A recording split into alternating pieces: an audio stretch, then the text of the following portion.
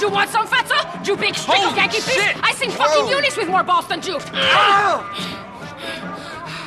What the fuck did you want? Nothing. I'm looking for a friend of mine's cousin, on, Mexican bitch. guy. He ain't here. You? But Cesar said you was a real man. Crazy. Lady, bitch. I'm a God-fearing, peace-loving man of the people. Whatever, asshole. Let's go. Damn, relax, baby.